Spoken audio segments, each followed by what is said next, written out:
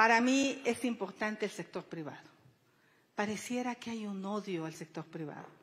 Cuando ustedes son gente de trabajo, son gente que se esfuerza. Yo, yo, yo empecé mi negocio, ningún banco me quiso prestar dinero. Decían, eres mujer, ¿quién te va a contratar? En la industria de la construcción. Y miran, a los dos años era la empresaria del año. Entonces, sé lo que cuesta emprender un negocio, sé lo que cuesta que el COVID te llegue y tengas que seguir pagando nómina y no tengas un solo apoyo del gobierno. Por eso les vamos a facilitar la vida en materia fiscal, en materia de pago de impuestos, en materia de trámites. Obviamente, teniendo incentivos hacia los municipios para que caminen hacia los trámites digitales. Necesitamos apoyar a los municipios.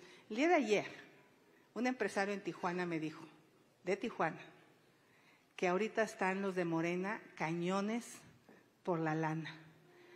Tiene una maquiladora, le llegaron a hacer una revisión por un extintor mal colocado, le quieren cobrar 750 mil pesos de moche. Entonces, eso ya no puede pasar.